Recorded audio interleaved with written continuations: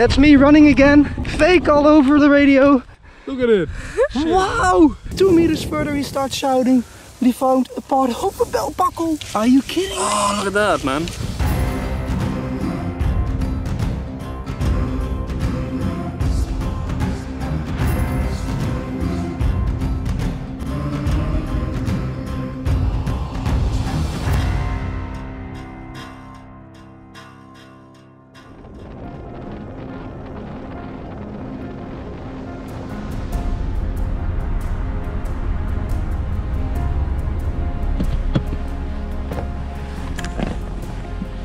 We're back on the western front, quite close to Hitler's west wall, so a lot of fighting took place here. We're gonna try and see if we can recover some World War II history. As you can see, we're on some steep terrain, so let's see if we can find the first spot of the day. Let's see what we can do. Look at that position, it's in a triangular shape. There are still rocks here in the side to reinforce the position. Maybe this was an MG nest, and we are on top of a hill, it goes down very steep. So yeah, that's promising.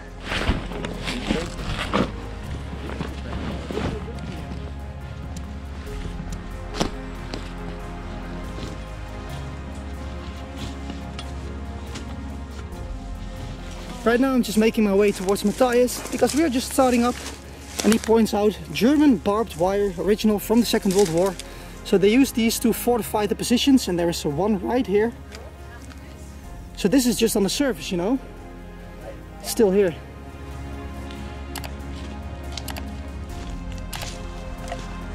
So I just found my first signal of the day and let me just point you out. Here's a very large position and right next to that position, there we go. It's an American M1 Garand round live. So that's a good sign. We already expected that Americans would have defended this hill and uh, there's already evidence of that. So let's see if we can find more. Let's see what they left behind. I must say, this is quite an exciting area. There's literally foxholes everywhere. And there's a beautiful one as you can see. And I actually got a signal right into that foxhole. And look what I just dug up. Easy to miss. It looks a bit like a leaf. But this is an American ration bag. Look at that. Let's fold it open a bit. There we go. There, lemon juice powder. Vitamin C, 60 milligrams. This has been laying under the soil for more than 75 years and it's seeing daylight again. That's beautiful. So definitely in this foxhole there were US soldiers here. Really wonder what they experienced here. And listen with me. Signals here. More signals there. This definitely was a US foxhole. wow, that's exciting. Time for a small update. I dug up some more signals and there were actually more ration bags there. Also, interestingly enough, a German rifle casing. So this foxhole was occupied by both the Germans and the American soldiers. And look here, I also found a Nescafe coffee bag. Now that is cool as well. I found a knife, look at this. There's still a part of the handle there. I'm not sure if that's military, but we should we should brush this up. This looks really neat.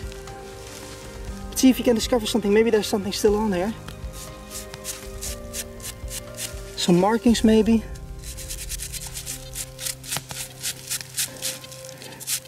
Well, this was definitely left here by the soldiers. I'm just wondering if this is a standard issue knife or something different. That's a cool find anyhow. Can we discover something there? Is the Not grip from wood. wood or? I don't think it's wood. No? Wow. That's cool. Right next to this very big dugout over here, I think Ray just hit the jackpot. He found quite a lot of American ration food cans and there's like lemon juice bags as well there and coffee bags. It's all there. But the interesting thing is it's quite smelly in here and that's because the content of these cans is still here.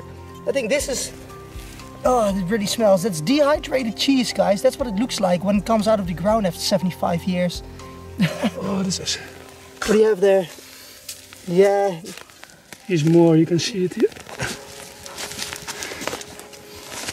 oh yeah, you can see there's one. Wow. Here's broken one. Yeah. Oh, it really smells. So, Matthias over here found something interesting. Look at that. It's clear evidence of the uh, artillery attacks that went on here. It's an exploded mortar and that tail is still perfectly intact. That's the blown up part. And I think it says 1943 at the bottom there. Definitely a cool piece. So the next interesting item to pop up. I got quite a loud iron signal. You can see it over there already. That is a very recognizable shape. But no worries, as you can see there, it's empty. We got an uh, MK2 frag grenade here from the American Army. So maybe they used this to make fire, I'm not sure, but the detonator is gone and this thing has not exploded. Yeah, the condition is not the best. This one was produced from iron, as you can see, it's very rusted, but that's a very cool, iconical find. Nice weight as well. I think you can definitely throw this a long way. Quite effective, I'd say. Wow, I need to catch my breath. I just made my way over to Jeff and he started shouting Panzerfaust. He might be right. Yeah, I think here you can see. The right thickness, the aiming mechanism is on there. Yep. And the warhead is missing, so it's probably fired. Yep. Looks like it. Think it's already loose enough to get it out? No, not yet. Alright, I think we need to excavate it a bit further. There is a lot of movement there, so you don't have to wait long for this. All right. No need to keep us waiting any longer, I think. Yeah, there we go. Panzerfaust 100 meters. Yeah, I think so. Some Somebody should give that a man a brush. Nice one, nice brush. Oh, it, it will It's the only one I have. it will do the trick. There we go. So this was effective up to 100 meters range. You could take out tanks, armored vehicles easily. I'm running again. This time it's Ray who started shouting. Let's see if he can meet up. He told me he found something big. And it's actually right next to a forest trail. And there we go. Let's see. Oh, that's part of a big casing, man. Oh, it's in a rotten condition. We found prettier ones here last time. But it's one, it's the first one of this trip. So this was fired by a US howitzer. The Americans were sweeping this forest from the German forces. So uh, they probably used some heavy guns. Right, in the same trench, this time it's Matthias who told me he thinks he might have a big shell casing. So there I am. Let's see if we can take this one out as well. Let's see if this one is complete. The one from Ray was broken in half. Pretty sure that's casing. Yeah, that is the right size. Here she comes. Yes? Yeah. Almost. Almost, it's a half one, but it's again howitzer casing. Awesome. So they really dumped a lot of those here. Last time we were here we found eight pieces, now we already got two. So we're losing daylight. Let me just give you an overview of all of the shell casings that we found this afternoon. Five pieces, they're all brass, but they are a bit corroded, but we found five pieces from the US howitzer. It's a nice result. We'll go drink some beer, regroup, refresh, and get on to a smooth start tomorrow.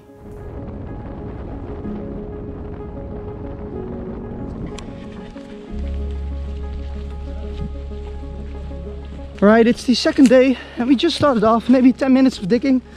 And uh, I'm actually running over to Matthias right now because he shouted over the walkie that he found a bayonet in between the barracks.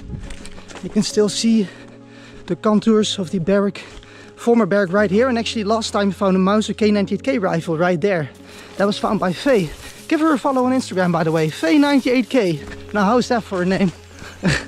All right, let's run over to Matthias. I cannot believe it. That's we dug here last time as well, but we missed this one. Let's see what he found. I'm pretty sure it's a bayonet. He's pretty sure. Okay. Yeah, it's definitely a bayonet. Right? Okay. Okay. I'm gonna get my close-up camera. I think you are right. Yeah. All right. So the close-up camera is there, and all of my friends are here. Everybody's looking. we all want to witness this because bayonets are really cool to find. This is always an exciting moment. We don't really see Bakelite grips there, I think, right? So Oh, it's bent. Oh, that's weird. Oh wow, it has a sharp end still. How weird is Yeah. that? How is it bent like that? They did that on Was purpose, Was this probably. actually on the surface? yeah, Almost. it just was sticking out more or less. Oh wow. So it, it would have had wooden grips, but those are gone. Huh. That's that's that's really interesting. It's a bayonet. Yeah, well, it's definitely a German bayonet. Yeah, really weird. How did they bend it like that? What was the Stuck it into a tree, maybe? Yeah, Bent maybe. it, and then threw it away. maybe, Maybe, it belongs to the, the K98. Yeah. Maybe. Maybe the RAD soldier was fed up with mixing concrete. Uh, someone have a brush? Yeah, here. Under ankle. Ja, dit is wel lekker. So last time Faye 98K found a K98K here. now we find a bayonet. Yeah, very nice man. Yeah.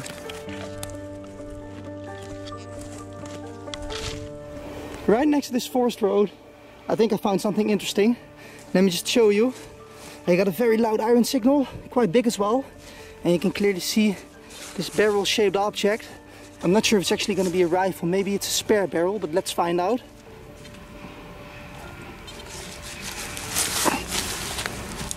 There it comes.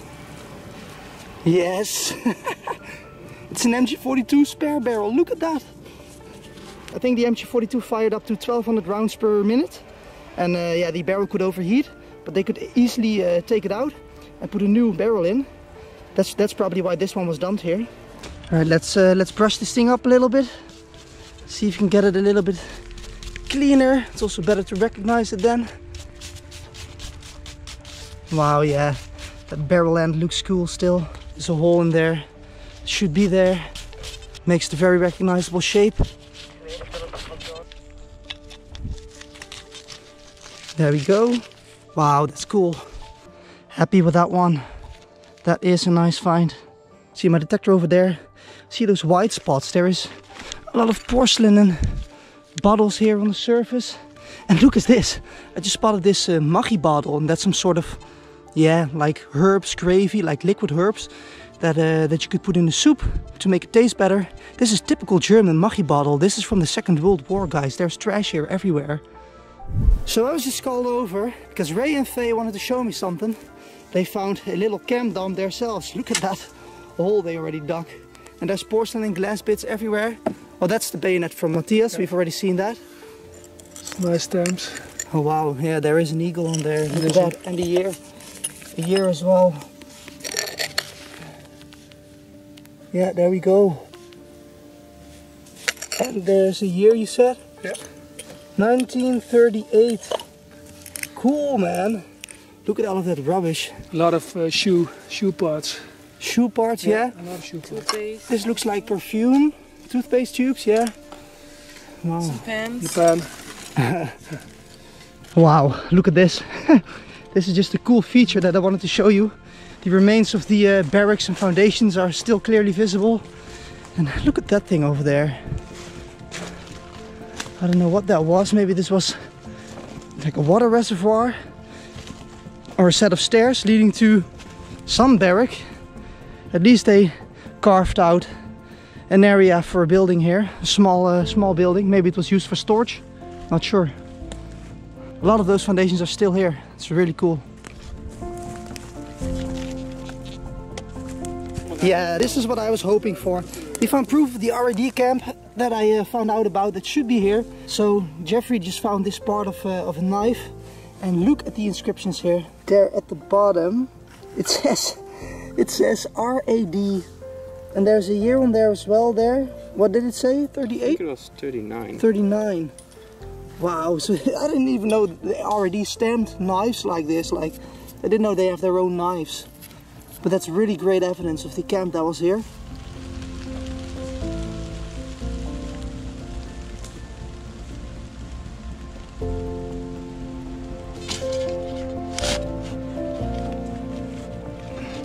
Alright, check this out.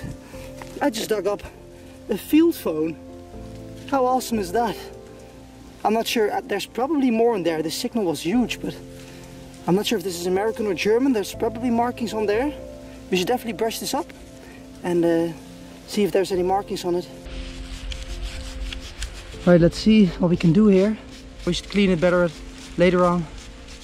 We found out this is actually a German bunker telephone. As there are quite some bunkers in this area, it must have been taken from one of those nearby bunkers. Thank you, my friend. So we decided to do some detecting on this field, right next to the forest. And uh, Matthias started shouting that he found the handle of a bayonet. Looks like a dress. Oh, isn't that a Hitler Youth one? No, I Does think it- it's a dress bayonet. Might be a no. It has to be a dress bayonet. This one, I think. Parade bayonets. Parade bayonets. Yeah, exactly. wow. That's awesome. First, first signal. Yeah, there's still part of the Bakelite grips visible. Part of a parade bayonet. Wow. uh, Why is it just a handle though? Like, that's weird. I've not really seen that before. I think they were made in separate pieces. Oh, really? Yeah. Oh, then that explains a lot. Maybe it was disassembled and discarded by Yeah. a soldier. Exactly.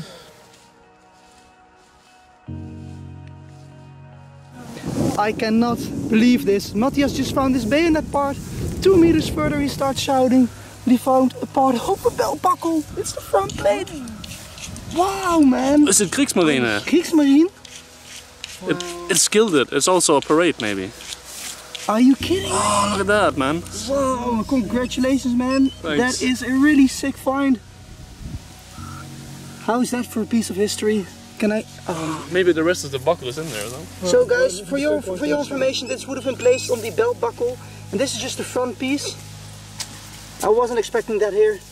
Right, we're just we just got some water to clean this live. That's definitely gilded. Hmm? That, you think this is a parade from a parade buckle, right? Yeah, it might be just Kriegsmarine. Wow. I'm not quite sure. I've, I've never seen these before. It's gold plated. Is that why you think it's Kriegsmarine? Yeah, I have one at home. Also gold plated. Oh wow. Well, that's a nice one. Let's see what that is. That's me running again. Fake all over the radio that she found a ring. And Matthias just said it's a World War One canteen ring. Look at it. Wow! Are you kidding me? Is that silver? Yeah, it has to be silver. That is a banger of a find. It's very nice and round still also. You have the Iron wow. Cross. And then you have what the national uh, colors. Well, Faye was complaining before she was not that lucky at this trip, and her luck has turned for sure. Let me grab that. Wow. So there is a World War One Iron Cross on there. It's silver, probably holding it upside down. There. That is a beauty. Wow. I'm happy. So last time we were here on this field, I found a World War One German helmet emblem, and this is another World War One find. And we also just found World War Two stuff. So this field is really, really interesting. So much history on one field, it's incredible. The question is, do you think it fits on you? We can try. Not bad. It's a little bit too big, but I think it looks pretty. A World War One German button as well. World War One German button. Is there a Prussian crown on it? Yeah, it's not. This is a blank one. Well, that's it for this episode. Time to go home. Thank you all for watching, especially my patrons. Make sure to check out my Patreon if you haven't already. If you want an exclusive look behind the scenes, we will be back soon with another adventure. So stay tuned. See you all next time. Cheers.